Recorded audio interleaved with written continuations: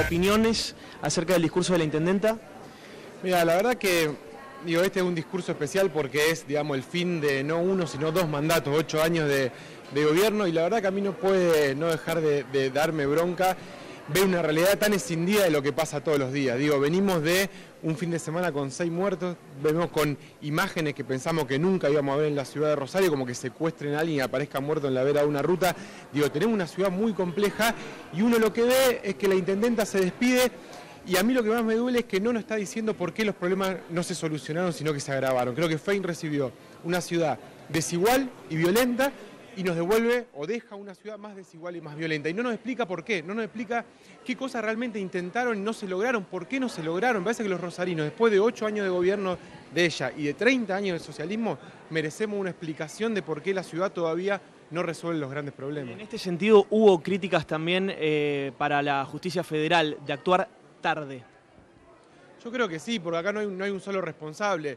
Lo que sí yo, a mí me daría vergüenza realmente, digamos, después, digamos, de, ocho años de gobierno, no poder explicarle a los rosarinos, mira, hicimos esto, lo intentamos, le buscamos la manera, pero hay un montón de cosas que están pendientes. Bueno, uno no escucha autocrítica. A mí me parece que lo peor que puede pasar en la política es no decir, mira, en esto me equivoqué, esto lo intenté y no lo pude. Digo, me parece que ahí habla de que cada vez la política está más disociada de la vida de la gente y se hablan entre políticos. Entonces ahora viene, da un discurso que lo lee, digo que no hay pasión, de que no hay verdad. Digo, a mí me da esa sensación donde es como un gobierno al mínimo permanentemente, con una ciudad que estalla todos los días, con una ciudad que tiene cosas que realmente, digo, a mí la preocupación son las desigualdades. Digo, uno tiene pedazos de la ciudad como la costa central que parece Dinamarca. Digo, uno que puede salir a correr a la noche y está bárbaro. Y hay otros pedazos de la ciudad que parecen Medellín en los 90, que te pueden secuestrar y aparecer muerto. Digo, no podemos convivir con una ciudad así. Y no es que no tuvieron tiempo. Digo, son 30 años. Entonces, ¿qué pasó? Bueno, me parece que es momento de un cambio de otra gente y es un momento histórico para hacerlo. Gracias. Gracias a vos. Que la gran mayoría de los candidatos a intendentes en las próximas elecciones estaban aquí, en el Consejo Municipal. Eh, Zuckerman, gracias por acercarse. Una opinión breve del discurso de la intendenta.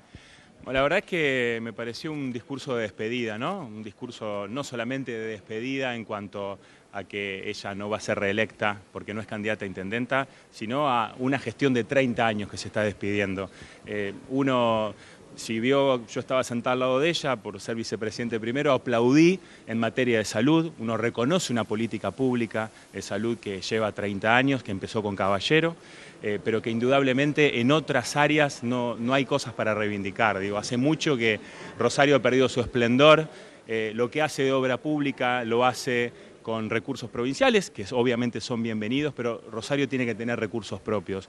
Yo quiero decir que eh, la intendenta nunca estuvo acompañando a la industria, nunca acompaña a los comercios que cierran porque no pueden pagar las tarifas, a las personas que se quedan sin trabajo.